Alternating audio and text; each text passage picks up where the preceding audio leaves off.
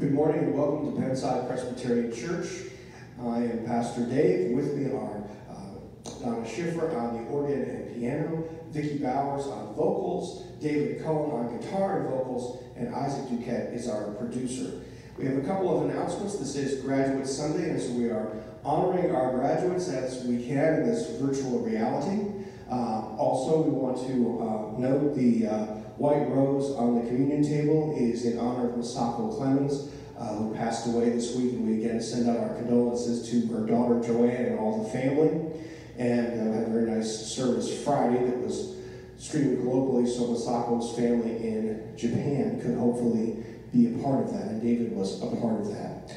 Uh, also, uh, we're asked to pray for Ron Chaluka, Amanda uh, Chaluka Sowers' uh, father. He is starting uh, chemo on Friday. And I ask you to continue to pray for my mother-in-law, Isaac's grandmother, Linda, as she starts her chemo tomorrow. And so we have a lot, a lot going on uh, in our church community, and certainly a lot going on in the world to be praying for and lifting up to God. So it is our hope that this service of worship will provide meaning, uh, inspiration, and hope. With that, let us begin to worship God with our prayer.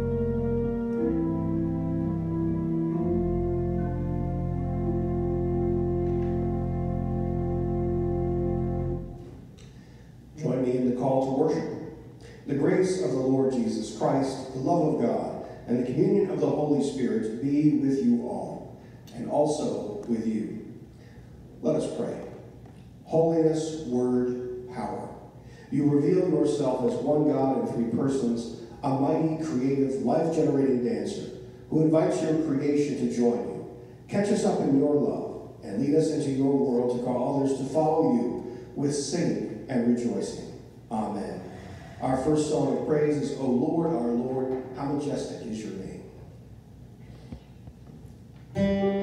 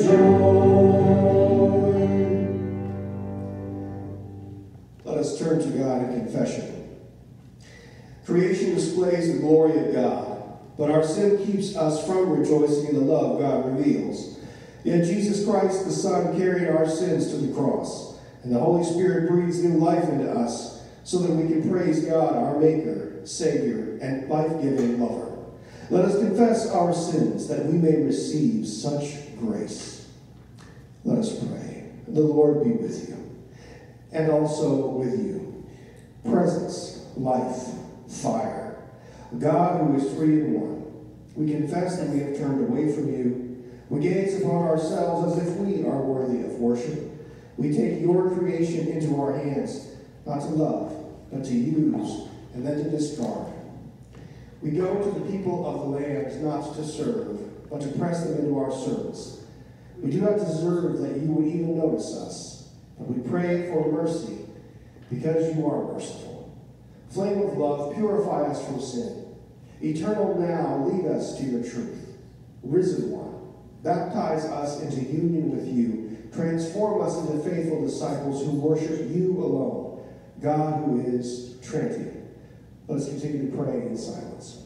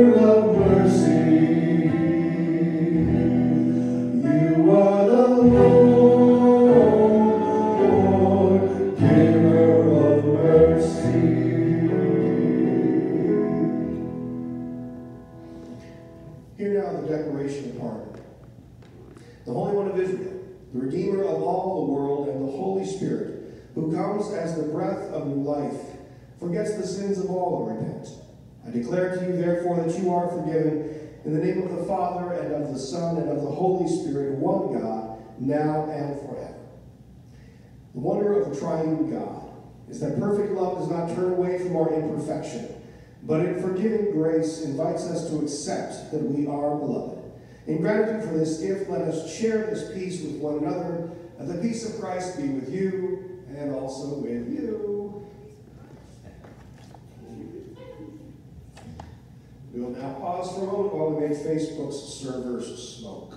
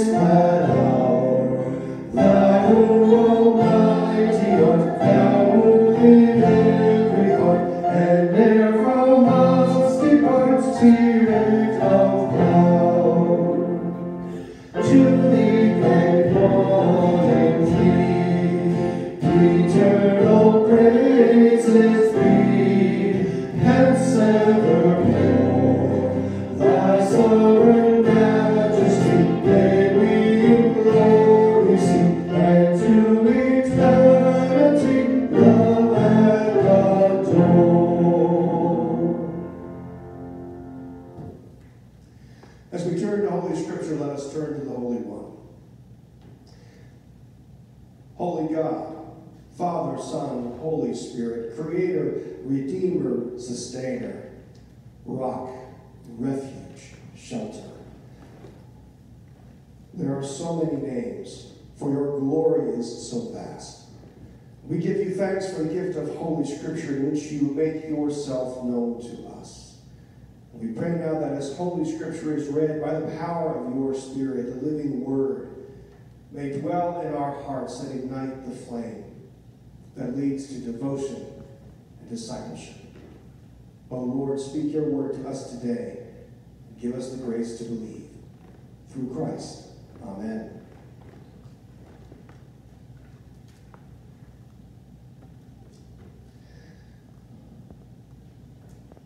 Our first reading comes from the book of Genesis, chapter 1, beginning with verse 1. In the beginning, when God created the heavens and the earth, the earth was a formless void, and darkness covered the face of the deep, while a wind from God swept over the face of the waters. Then God said, Let there be light. There was light. And God saw that the light was good, and God separated the light from the darkness. God called the light day, the darkness he called night. And there was evening, and there was morning, the first day. And God said, Let there be a dome in the midst of the waters, and let it separate the waters from the waters. So God made the dome, and separated the waters that were under the dome from the waters that were above the dome. And it was so. God called the dome sky. And there was evening, and there was morning, the second day. God said, Let the waters under the sky be gathered together into one place, and let the dry land appear. And it was so. God called the dry land earth. The waters that were gathered together he called seas. God saw it was good.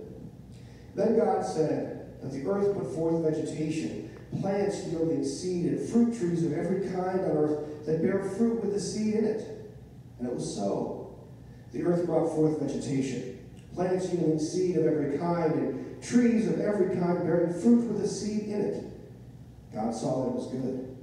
There was evening and there was morning, the third day. And God said, Let there be lights in the dome of the sky to separate the day from the night, and let them be for the signs and for seasons and for days and years. And let them be light, and let them be lights in the dome of the sky to give light upon the earth. And it was so. God made the two great lights, the greater lights to rule the day, and the lesser lights to rule the night, and the stars. God set them in the dome of the sky to give light upon the earth, to rule over the day and over the night, and to separate the light from the darkness. And God saw that it was good. There was evening, there was morning, the fourth day. And God said, Let the waters bring forth swarms of living creatures, and let birds fly above the earth across the dome of the sky.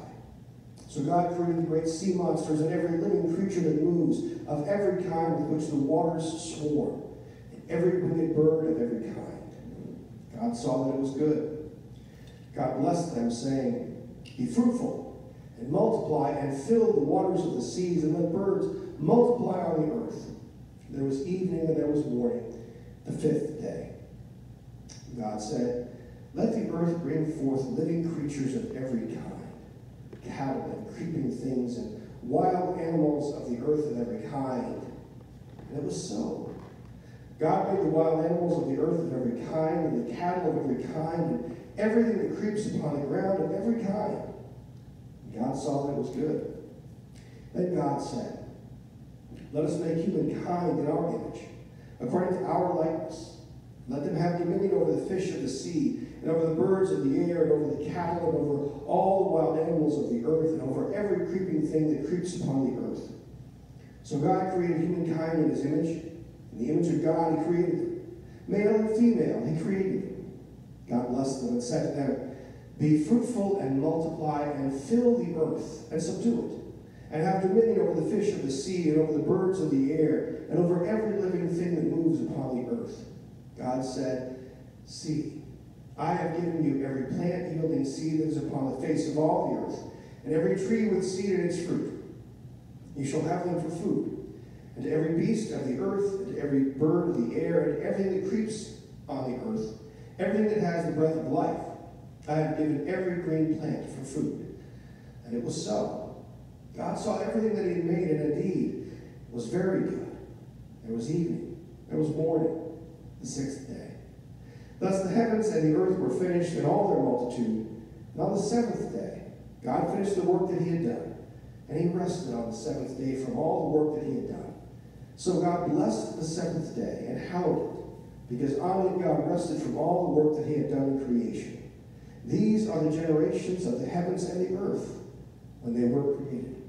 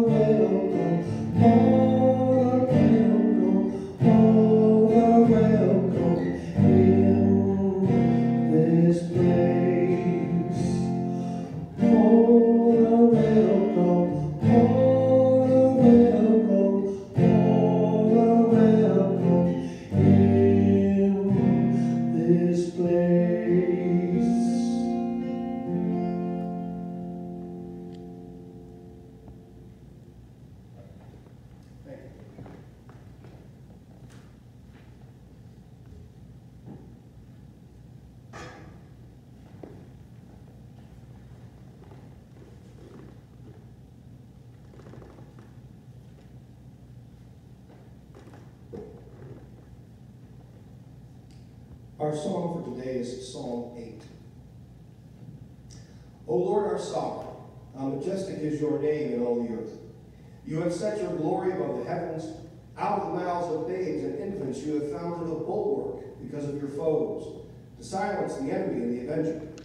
When I look at your heavens, the work of your fingers, the moon and the stars that you have established, what are human beings that you are mindful of them? Mortals that you care for them. Yet you have made them a little lower than God. You have crowned them with glory and honor. You have given them dominion over the works of your hands. You have put all things under their feet, all sheep and oxen, and also the beasts of the field, the birds of the air, and the fish of the sea, whatever passes along the paths of the sea. O Lord our sovereign, how majestic is your name in all the earth. And from the Gospel of Matthew, this is chapter 28, verses 16 through 20, and for the next three weeks we'll be exploring the Great Commission and what it means for us today.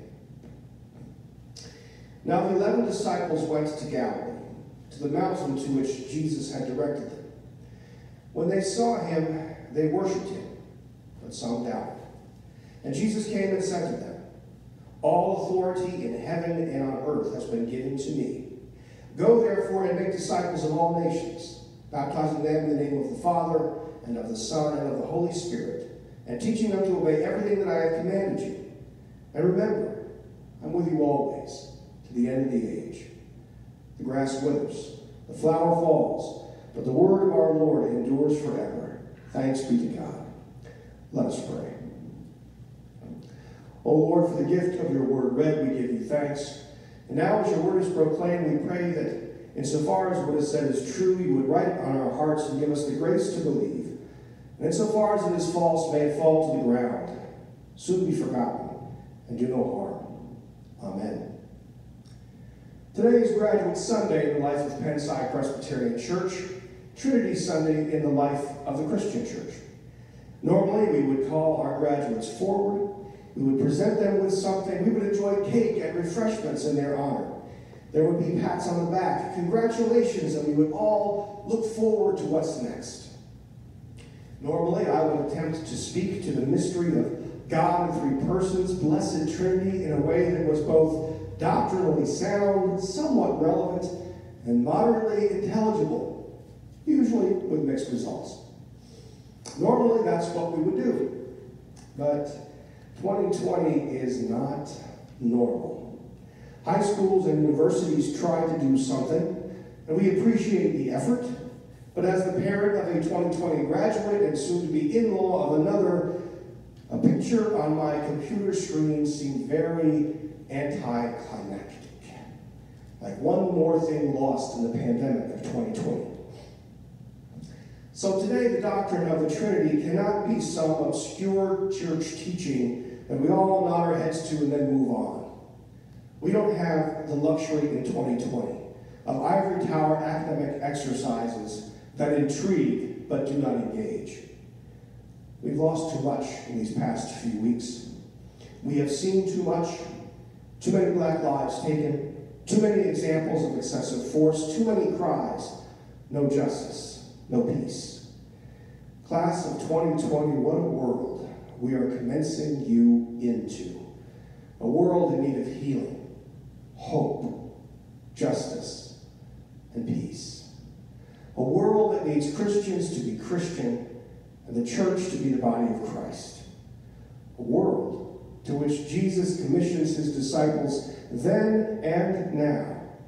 Today, Jesus comes to us and he says to us, All authority in heaven and on earth has been given to me. Go therefore and make disciples of all nations, baptizing them in the name of the Father and of the Son and of the Holy Spirit, and teaching them to obey everything that I have commanded. And remember, I'm with you always to the end of the age. Please notice that this is a universal, all-inclusive commission.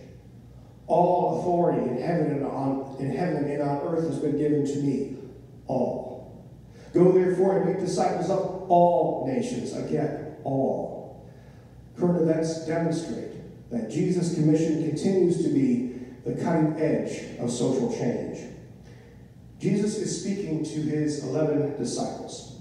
He is speaking to 11 Jews. He is speaking to 11 men who all their lives have known and been trained that to be a Jew is to be separate, especially from the Gentiles. Because that's what God demands, first and foremost. That's what it means to be holy. And second, because Jews have been persecuted for their faith. If they do not keep to their way, no one will. Jesus rejects all of that.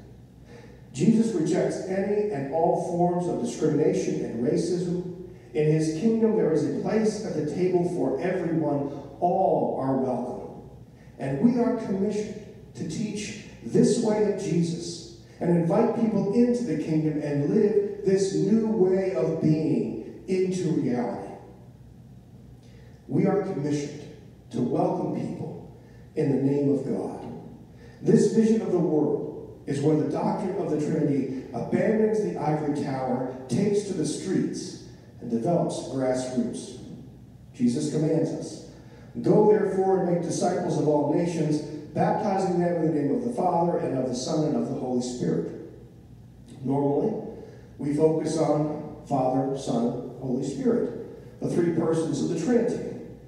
But as the class of 2020 knows all too well, this is not a normal time. This is an extraordinary time. And it is a time to be extraordinary. So focus today on the mighty three letter word. We've had enough four letter words. Focus on the mighty three letter word. And.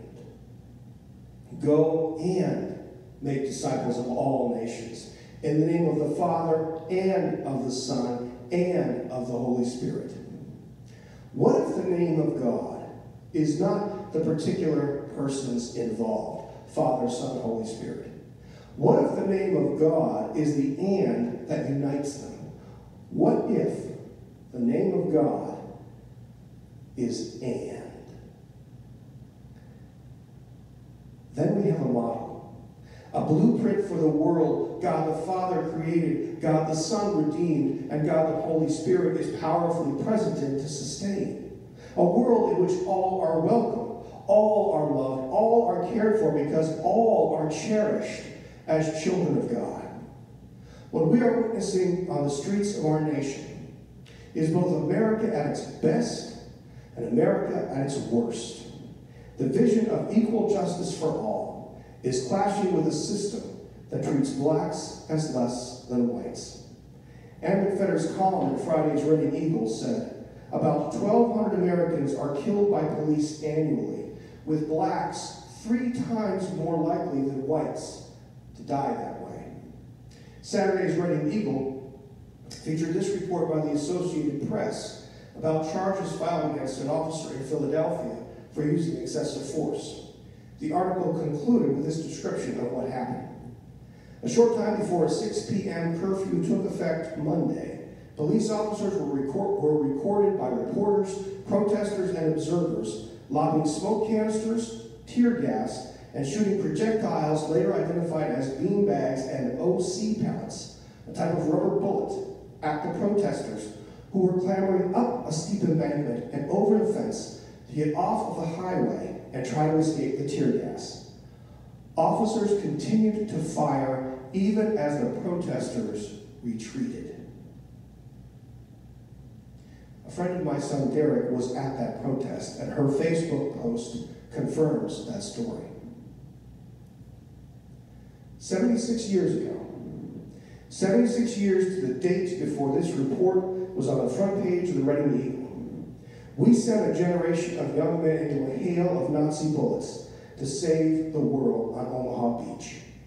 Thanks to the courage and sacrifice on D-Day, the world was saved from Nazis. But the mission is not yet accomplished. There is still hate. Discrimination and racism persist. And in the name of God, we must say, I must say, you must say, Black Lives Matter. Because black lives are the ones being taken. Black lives are the ones being hindered by systemic racism. Black lives are the ones where the promise that all men are created equal and are endowed by their Creator with certain inalienable rights, that among these are life, liberty, and the pursuit of happiness. For black lives, that promise has not been kept, and the bill is due. The promise has been kept for us white folks. Our lives are just fine. It looks like there's a light at the end of the tunnel with the coronavirus starting to relax. We're mellow yellow. Feels good, doesn't it? Feels good. Black Lives Matter. I can't breathe. This is what is normal for our black brothers and sisters. This is the chasm that separates the black and white experience of America. Right now, Amazon is showing Just Mercy for free. I invite you and I encourage you to watch it. We need to start listening and learning and understanding what it means to be black in America. Because that normal that they know, that America that they endure, that is not the gospel. That is not good news. That is not the love of God and Jesus Christ our Lord. And the sin that we white folks must face up to and repent of is that we have ignored this. Something happens, there's a fuss, something gets done, and it's back to business as usual with racism still enmeshed in our systems and structures in society. Our silence makes us complicit. Because when we all come together and we all demand that the system change so we do a better job of keeping the promise of America, then things change. And we do a better job of keeping the promise of America for all. The promise we bled for at Omaha Beach in 1944. And the promise we are bleeding for right now in cities across our nation right now. One of the church fathers, Tertullian, said, The blood of the martyrs is the seed of the church. I hope and I pray that the blood being shed today will produce a harvest of righteousness in our land. Because the vision that is America goes a long way towards the vision of God's world where all God's children live together in peace. A friend of mine posted this on Facebook. What if 2020 isn't canceled? What if 2020 is the year we've been waiting for? A year so uncomfortable, so painful, so scary, so raw, that it finally forces us to grow. A year that screams so loud, finally awakening us from our ignorant slumber. A year we finally accept the need for change, declare change, work for change, become the change. A year we finally band together instead of pushing each other farther apart. 2020 isn't canceled, but rather the most important year of all. St. Francis of Assisi said, Start doing what is necessary, then do what is possible, and suddenly you're doing the impossible. Preach the gospel at all times, and when necessary, use words. The Lord is calling us to sacrificial love, a love where the currency of our words is backed by the gold of our lives. We have not yet reached this congruence. Jesus beckons, Walk with me into a future that seems uncertain to you. It is not to me. I have a much larger pasture for you. Other sheep are waiting for you there. And I promise you, I will always be your shepherd. Trust me. Be not afraid. Class of 2020, brothers and sisters in Christ, Pennside Presbyterian Church, go into the world in the name of God. Be silent no more. Let your voice be heard. Let the principalities and powers of our great nation know that you do not accept that some lives are of less value than others. You do not accept the routine use of excessive force. You do not accept it. You will not look away, and you will not be silent. You will say, Black lives matter until all lives matter. Red and yellow, black and white, all are precious in God's sight. Take that sacrificial love of God and go in the name of God. Amen.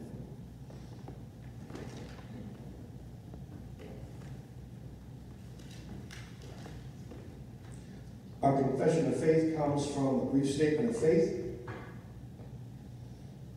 In life and in death, we belong to God.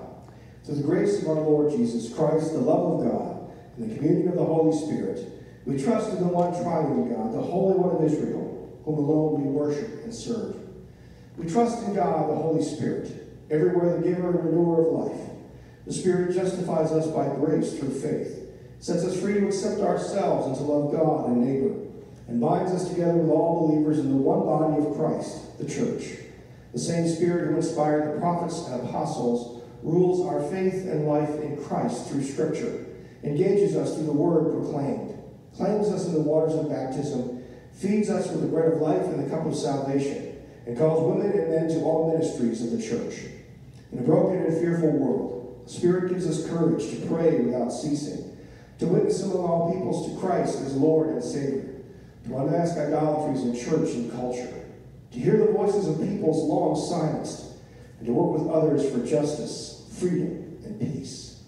In gratitude to God, empowered by the Spirit, we strive to serve Christ in our daily tasks and to live holy and joyful lives, even as we watch for God's new heaven and new earth, praying, Come, Lord Jesus.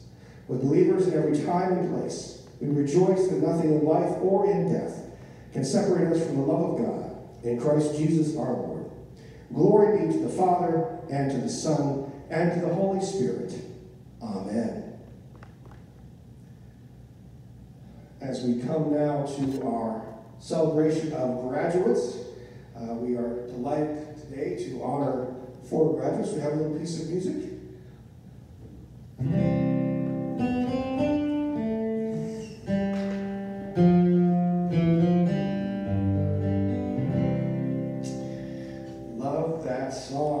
Parents and graduates, isn't that a great tune? Pomp and circumstance. So uh, we want to honor our four graduates, and you'll see their pictures on your screen here. First, we want to uh, honor and celebrate uh, Robert Durr, who graduated from Antietam High School. Actually, I believe the grammatically proper way is to say that Robert was graduated from Antietam High School this week, and he'll be attending Kutztown. And so, blessings, Robert, and congratulations. Next up is Isaac Duquette, who was graduated from West Chester University, and he will be going back to West Chester in the fall for his master's degree. So, congratulations, Isaac. Uh, Alexis Hartman uh, graduated from Kutztown University, so congratulations, Alexis. And Jennifer Swist graduated from Kutztown University. Uh, and Alexis and Jennifer, I believe, are both going into education, so please hire them. So, congratulations to Robert, Isaac, Alexis, and Jennifer, our graduates in 2020. This time now we have our offering, and again, I want to thank you for your continued uh, generosity that is allowing us to uh, continue this ministry, and I appreciate that very much.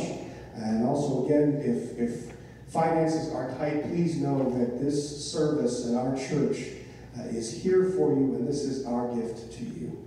So to continue with that giving spirit, we have some more music from David Cullen. David.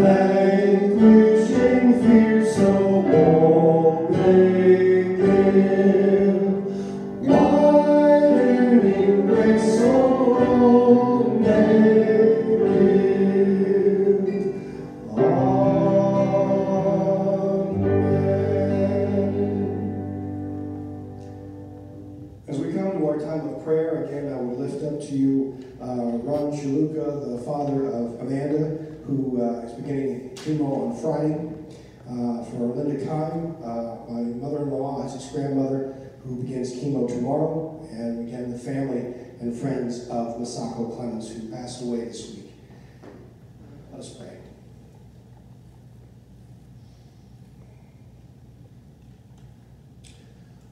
Oh Lord, this is your world. And we come to you uh, this morning painfully aware that your world is in pain. And painfully aware, oh Lord, that we're a part of the problem.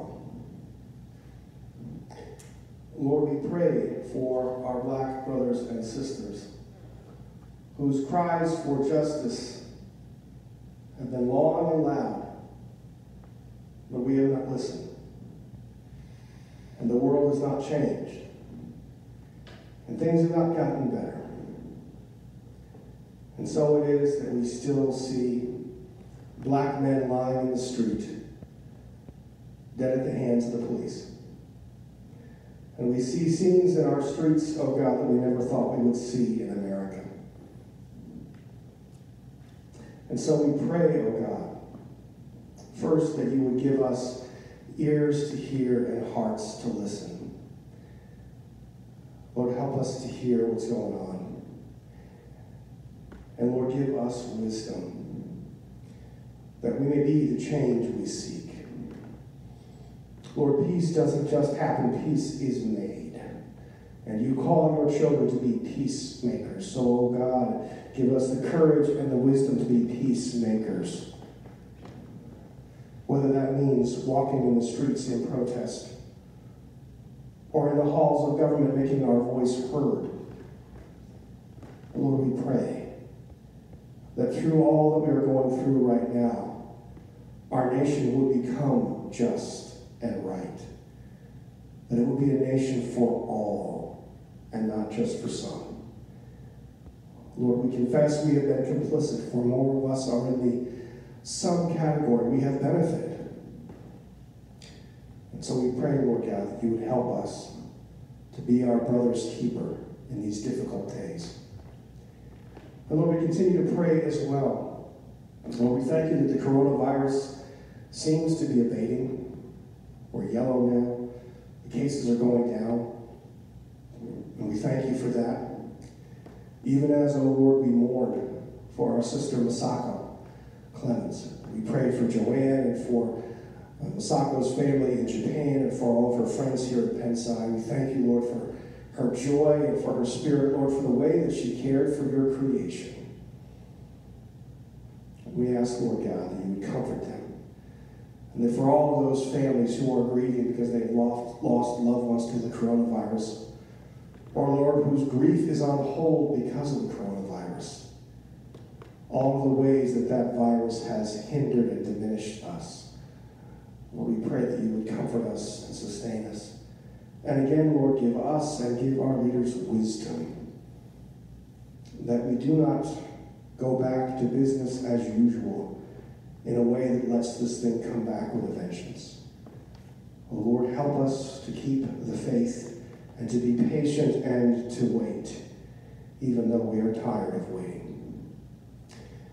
And Lord, in the meantime, there is another C in our community cancer.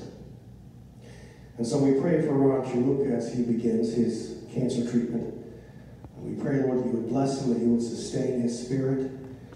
Lord, that you would help him to endure, and that you would comfort Amanda and the family. Lord, it is such a shock to hear that word associated with those you love. So we pray, Lord God, that you would bless and keep Ron and Amanda and the family. And Lord, we pray for Linda Kime and for my family as she begins her treatment tomorrow, Lord, we pray that it would be a success. We pray, Lord, that the chemotherapy for both Linda and for Ron would do what it is meant to do, that it would kill the cancer. And Lord, that life could be new and good and whole again for both.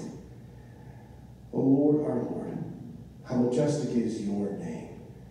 You are mindful of us. You care for us, and you are with us always. in these difficult days. You are our hope. And for that we give you our praise and thanks, praying as Jesus taught us to pray. Our Father, who art in heaven, hallowed be thy name. Thy kingdom come, thy will be done on earth as it is in heaven.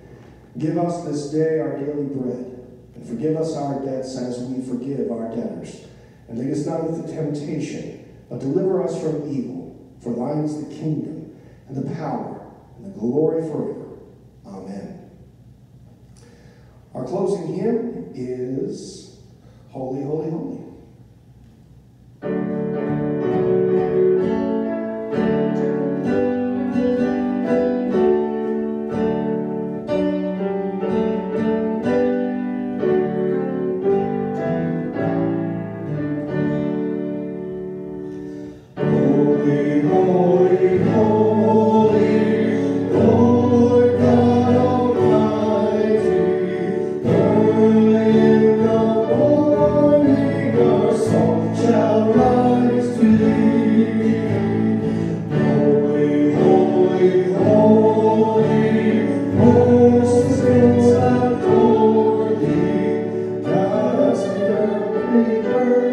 Burdens,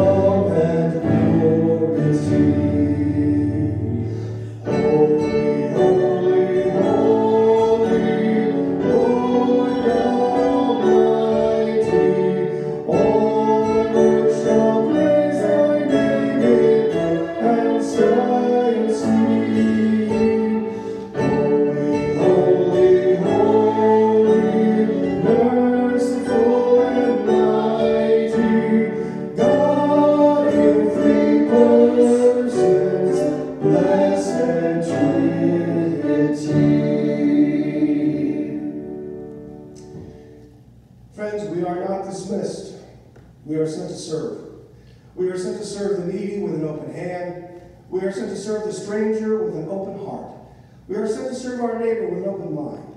We are sent to serve our Lord, whom we will meet when we serve. And as we go forth to serve, know that we do not go alone. God, Father, Son, Holy Spirit goes with us, above us to watch over us, beneath us to sustain us, beside us to befriend us, behind us to defend us, before us to show us the way, and always within us making all things, including us, knew.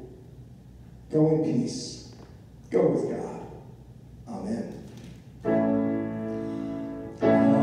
Amen.